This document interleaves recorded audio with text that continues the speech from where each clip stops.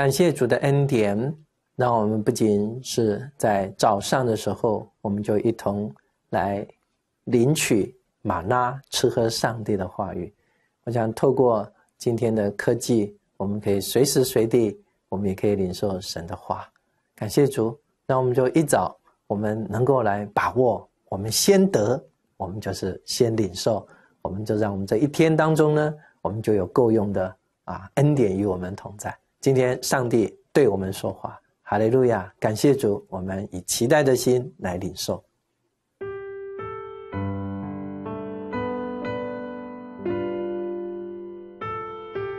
哥林多前书六章十二到二十节，凡事我都可行，但不都有益处；凡事我都可行，但无论哪一件，我总不受他的辖制。食物是为肚腹，肚腹是为食物。但神要叫这两样都废坏，身子不是为淫乱。乃是为主，主也是为身子，并且神已经叫主复活，也要用自己的能力叫我们复活。岂不知你们的身子是基督的肢体吗？我可以将基督的肢体作为娼妓的肢体吗？断乎不可。岂不知与娼妓联合的，便是与他成为一体吗？因为主说二人要成为一体。但与主联合的，便是与主成为一灵。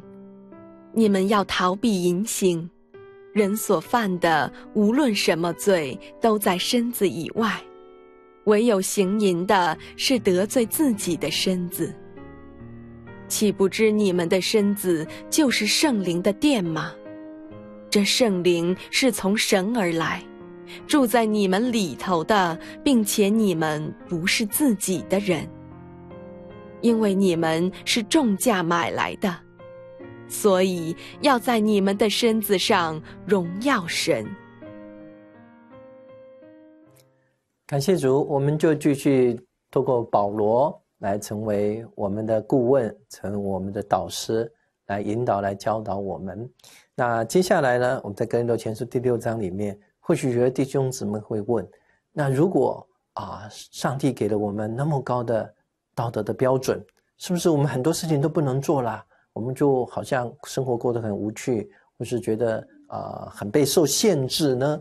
啊，那可能他们会有一些这样的疑问啊，这个啊好多的要求一样。好但保罗在这里就来回答，他怎么回答呢？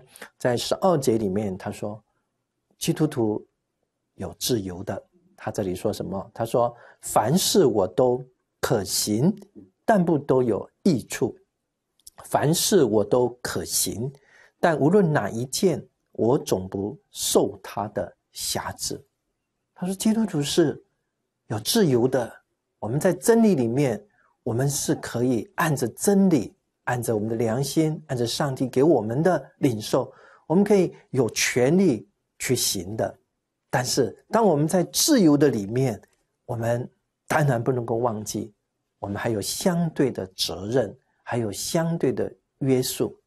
所以他说，我们都是可以行的，只是要提醒我们在很多可以行的里面，注意有两部分我们要去避免的。第一个，会不会带来益处，带来好处？这个好处包括什么？给自己的好处，还有什么对别人的好处？我们不能够只求对自己有好处，而所做的事情让别人受损、受伤害，那当然是不对的。我想我们都是说不过去的嘛。好，所以这个标准我们要知道。那另外一个标准是什么呢？做这样的事情会不会让我们受到他的辖制，就成为一个啊不做不行的一个成瘾的行为？以至于让我们的正常的作息、我们的心思意念都会受他影响的时候呢，那这样的事情我们就要考虑喽。好，这个这个对别人没有益处的，不能造就别人的，那对自己会有伤害、会有辖制的，那请问你还要用你的自由去做这些事情吗？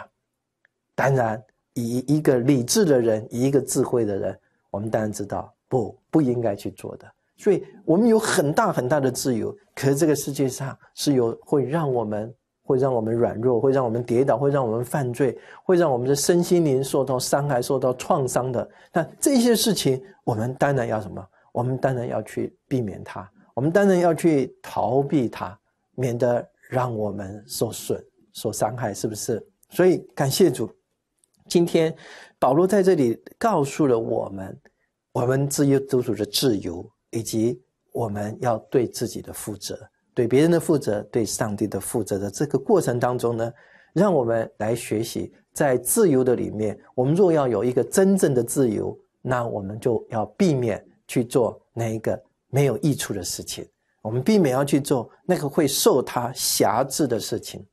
刚刚我在啊电视电视上看到台湾的电视里面提到说，今天有台湾有二十万的年轻人，他们成为。就是在家里面，就是依赖网络生活、网络游戏，他们没有走出去的。这样的统计有二十万的人，他们就已经在网络的世界里面在过生活了，可能受到已经受到网络的这个呃沉迷了，网络的辖制了。那我觉得对他们的这一生的里面，那是有很不健康、很不健全的，不是吗？所以愿上帝帮助我们，我们要逃避这一些。如果每一天我们每天晚上吃完饭，我们就要守在电视机前面，我们就要看韩剧啊、日剧啊、啊这个呃这个这个华剧啊，那我想我们很多时候我们可能就不能过正常的生活了，是不是？聚会的生活怎么办？周间的小组要去吗？好，还有一些正常的社交活动呢，是不是我们就是完全被捆绑了？这些都求助帮助我们。好，我们一同来学习，感谢主。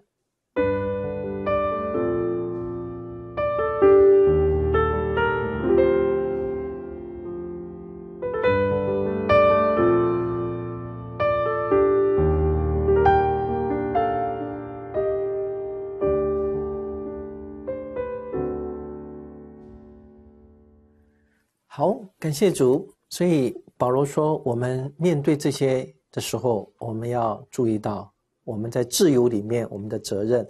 但接下来我们就要面对的是，如果那些事情是对我们没有好处的，对别人没有好处，带来伤害的，或是会会造成辖制的、有成瘾的行为，那我们要怎么去看待他们呢？我们要怎么样去面对他们呢？那保罗说，只有一条路，就是逃避。就像保罗曾经劝勉提摩太说：“你要逃避少年人的什么私欲。”当我们看到约瑟面对试探的时候，他不是在抵挡他，他不是在跟他啊这个这个在做一些什么样的这个啊征战。约约瑟碰到的时候，他就是逃掉，丢掉衣裳，赶快逃离。那逃避就是最聪明的一个选择。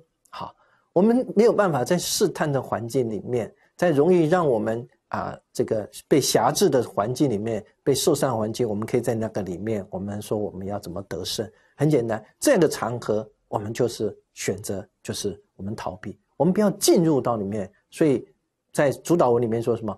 叫我们不要什么进入试探里面，面对试探，我们就是要远离。远离是非嘛，啊，远离是非现场。好，就我们就是要逃避它。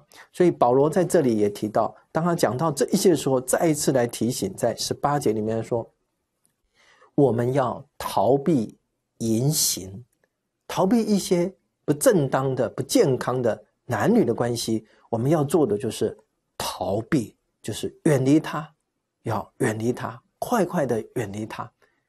我相信，不仅是淫行，还有其他的一样，我们那些会让我们成瘾的行为，我们要做的就是我们去逃避它。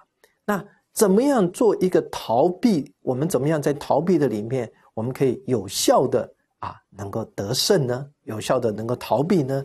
我相信有几点我们可以注意的。第一个，当然我们必须要承认，我们是软弱的，我们不是刚强的。我们是会容易受到诱惑的，我们会进入试探的里面。没有一个人是刚强的。好多吸毒的人说：“我绝对吸毒，我绝对不受他的辖制。”但是没有一个是成功的。同样的，我们要做的就是，我们先承认自己的软弱，当我们承认自己会失败的时候，我们才有一个警觉性。好，第二个，我们就开始，我们需要要知道界限在哪里，我们要设立一个界限。这是绿灯吗？我们可以通行，我们可以自由。而进到黄灯了，我们是不是开始就要警觉了？在黄灯的里面，有可能我们在黄灯的里面，我们在那边徘徊的时候，我们就要退出来了，是不是？我们就要退出来，再下去就是什么？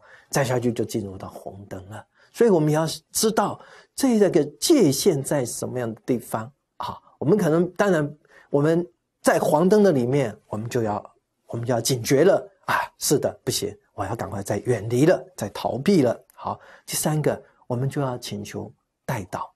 将我们的需要，将我们的软弱，我们能不能可以跟我们的属灵的同伴，跟我们最亲爱的配偶们说：哇，我有这个软弱，你要帮助我，我要你要来督责我，为我祷告，我承认我们需要去面对。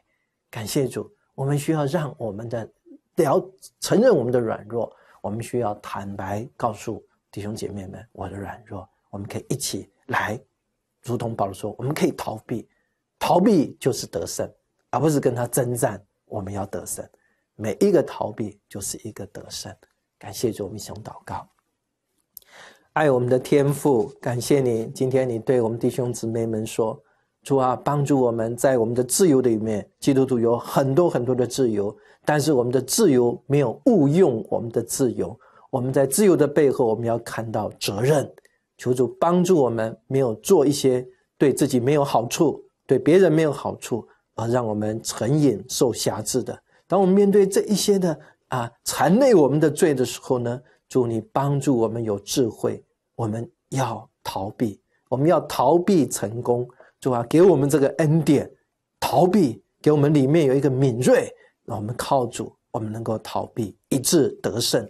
奉耶稣的名祷告，阿门。